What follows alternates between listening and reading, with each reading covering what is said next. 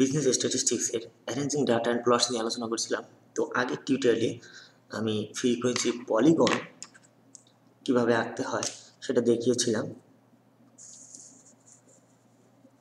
এখন আরও একটা টিউটোরিয়াল করব, সেটা এই টিউটোরিয়ালটিতে আমিও দেখাবো যে ফ্রিকোয়েন্সি পলিগন কীভাবে আঁকতে হয়। বাট এখানে পার্থক্য হলো, আগের যে অঙ্কটি আমি সলিউশন করে দেখিয়েছিলাম এবং একটা ফ্রিকোয়েন্সি পলিগন এঁকেছিলাম, সেখানে এই ক্লাস ইন্টারভেলগুলো জাস্ট এক্সক্লুসিভ মেথডে ছিল।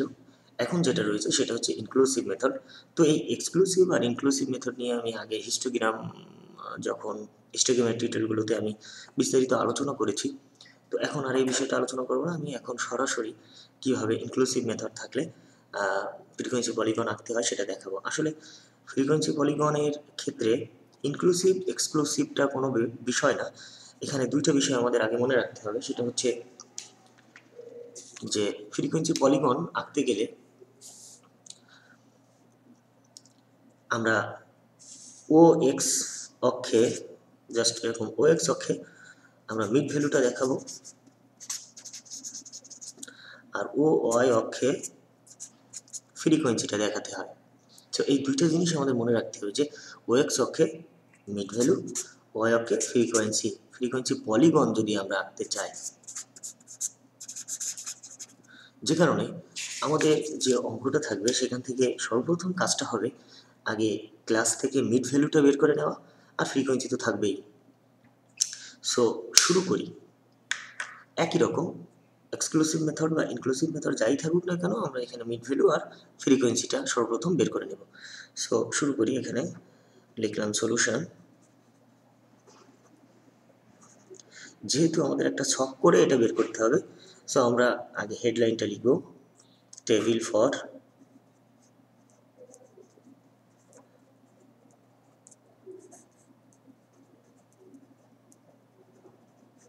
drawing a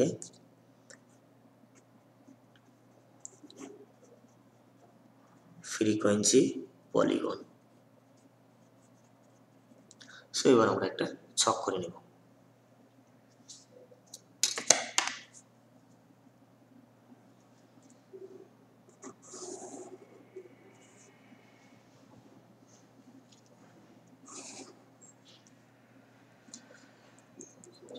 এখানে ছয়টা ঘর রয়েছে সো আমরা মাঝে ছয়টা ঘর করব এবং উপরে নিচে দুইটা ঘর করব হেডলাইন করার জন্য।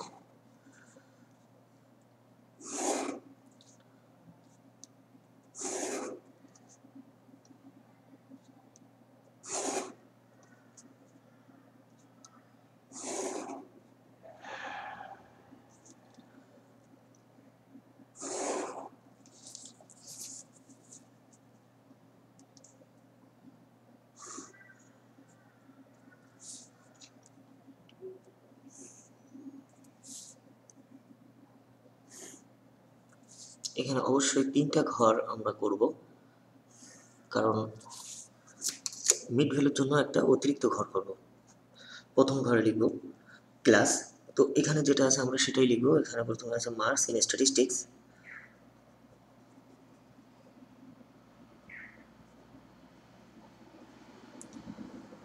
লিখব এখানে। প্লাস এখানে লিখব জাস্ট মিড ভ্যালু এটাকে আমরা এক্স দিয়ে প্রকাশ করি। আর এখানে লিখব নাম্বার অফ স্টুডেন্ট এটা হলো ফ্রিকোয়েন্সি এটাকে জাস্ট এফ দিয়ে প্রকাশ করা হয়। ওকে এবার আমরা ক্লাসগুলো লিখব। প্রথমে ফিফটি থেকে ফিফটি নাইন সিক্সটি থেকে এখানে সিক্সটি নাইন সেভেন্টি থেকে সেভেন্টি নাইন এইটটি থেকে এইটটি নাইন নাইনটি থেকে নাইনটি নাইন হান্ড্রেড থেকে হান্ড্রেড নাইন ওকে যেহেতু ইনক্লুসিভ আছে মানে প্রথম শ্রেণির উচ্চ সীমা এবং দ্বিতীয় শ্রেণির নিম্ন সীমাটা অসমান সো এটা ইনক্লুসিভ রয়েছে।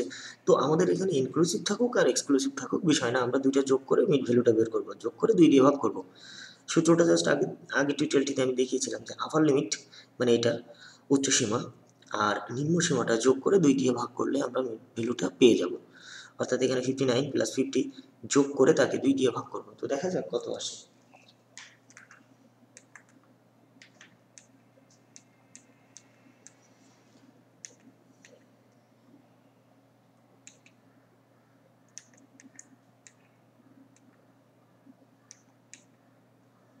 ফিফটি ফোর পয়েন্ট ফাইভ তো এখানে আমরা লিখব ফিফটি ফোর পয়েন্ট ফাইভ এখানটা হবে sixty four point five four point five eighty four point five ninety four point five hundred four point five সেজন্য এখানে যাই থাকুক এক্সক্লুসিভ ইনক্লুসিভ ফ্রিকোয়েন্সি পলিগনের ক্ষেত্রে তেমন কোনো ইফেক্ট পড়ে না। আমরা যেভাবেই থাকুক না কেন, আমরা মিড ভ্যালুটা বের করব। আর এখানে ফ্রিকোয়েন্সি তো দেওয়াই আছে। প্রথমে fifty fifty five seventy eighty seventy five sixty okay তো এবার আমরা আঁকতে পারি ফ্রিকোয়েন্সি পলিগনটা। সো গ্রাফ নিব।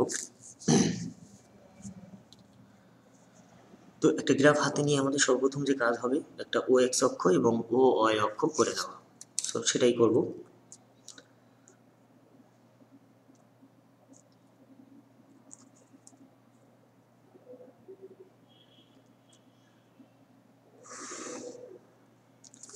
একটা ও এক্স একটা ও অয় অক্ষ করে নিলাম।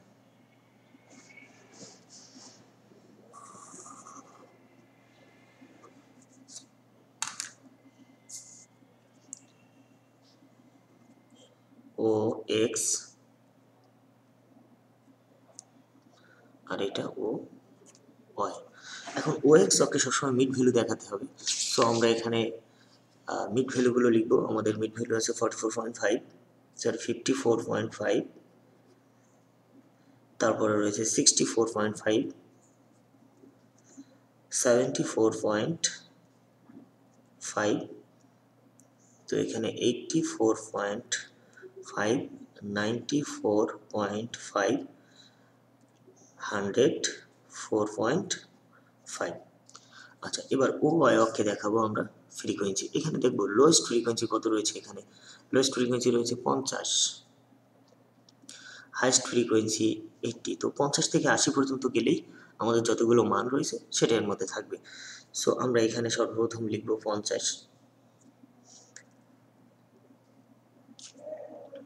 তো এরপরে দশ ঘর, পরে আমরা দশ করে ধরে নিই প্রতি ঘর সমান সমান এক যদি ধরি তাহলে পঞ্চাশ, এখানে আমি লিখব ষাট, এখানে লিখব জাস্ট সত্তর, আর এখানে আশি। এবার আমরা লিখব যে ফিফটি ফোর পয়েন্ট ফাইভের বিপরীতে জাস্ট পঞ্চাশ রয়েছে। এখন একটা বিষয় আমাদের খেয়াল রাখতে হবে, যেহেতু এটা শূন্য, তারপরে ফিফটি ফোর পয়েন্ট ফাইভ এখানে অনেকগুলো গ্যাপ রয়েছে। তো এই গ্যাপটা যেহেতু আসলে আমরা যদি জিরো থেকে এই পর্যন্ত যেতে যাই তাহলে এদিকে অনেকগুলো গ্রাফের প্রয়োজন।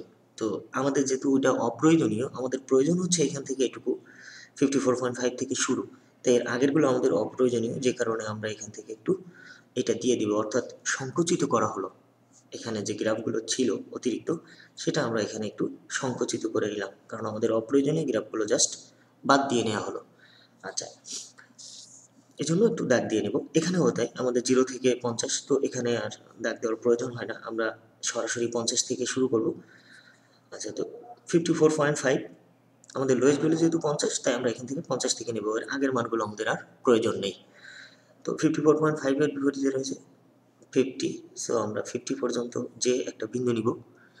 তো তারপরে আছে ফিফটি ফোর পয়েন্ট ফাইভের বিপরীতে আছে পঞ্চান্ন সো এই হলো পঞ্চাশ, আর প্রতি পাঁচ ঘর, এক ঘর সমান যদি এক ধরি, তো এখানে পাঁচ ঘর পরে পঞ্চান্ন। ফিফটি সেভেন্টি ফোর পয়েন্ট ফাইভের বিপরীতে জাস্ট সত্তর সেভেন্টি ফাইভের ফোর পয়েন্ট ফাইভের বিপরীতে আমরা এখানে সত্তর পর্যন্ত যে একটা বিন্দু নিব, তারপরে আছে আশি সো এর আশি পর্যন্ত যাব আমরা এখানে। এই আশি সোজা একটা বিন্দু নিব, তারপরে নেব seventy five so ninety five point ফোরের বিপরীতে সেভেন্টি আর ফার্স্ট ঘর মানে হচ্ছে সেভেন্টি ফাইভ তারপরে রয়েছে sixty so hundred four point ফাইভের বিপরীতে আমরা সিক্সটি পর্যন্ত নিব এই। এবার ঠিক আগের মতোই আমরা স্কেল দিয়ে এটাকে সংযুক্ত করে নেব।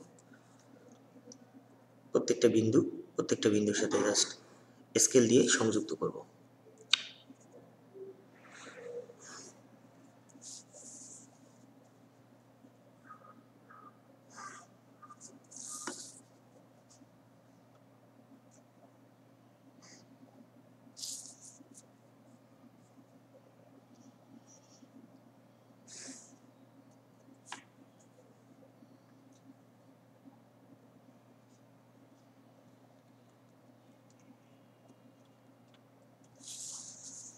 এবার এটা আমরা দুইটা বিন্দু মানে এসে ও এক্স অক্ষের সাথে জাস্ট ডট দিয়ে মিলিয়ে দিব।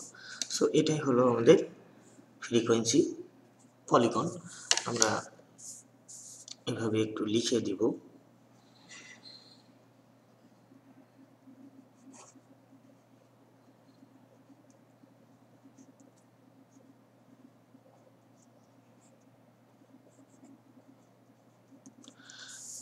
এবার আমরা নিচে কি দেখালাম? এখানে জাস্ট ও এক্স অক্ষে মিড ভ্যালুগুলো দেখানো হয়েছে সো আমরা নিচে লিখব মিড ভ্যালু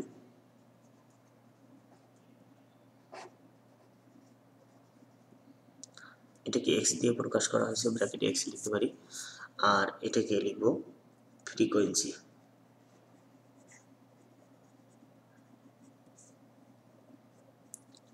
ওকে তো এবার আমরা স্কেলটা লিখব। যেহেতু এর নিচে আর জায়গা নেই সো আমরা অফার বিটে এটাকে অ্যাড করব। করে ছকের নিচে অবশ্যই অ্যাড করতে হবে। করে আমরা তার নিচে লিখব ফ্রিকোয়েন্সি পলিগন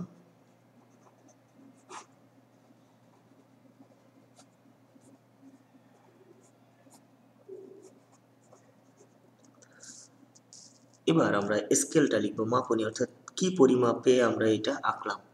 সো লিখব scale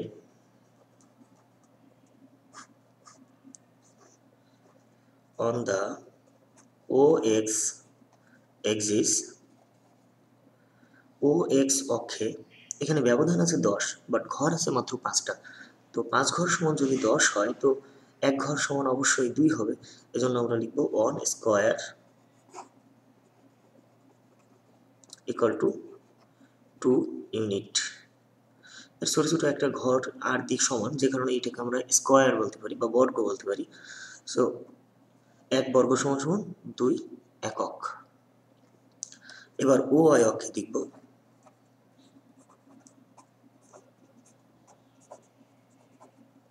on the O axis এখানে আমরা ফিফটি লিখছি, তো তারপরে লিখলাম সিক্সটি সো এক ঘর সমান এক তাই জন্য আমরা লিখব one square equal to one unit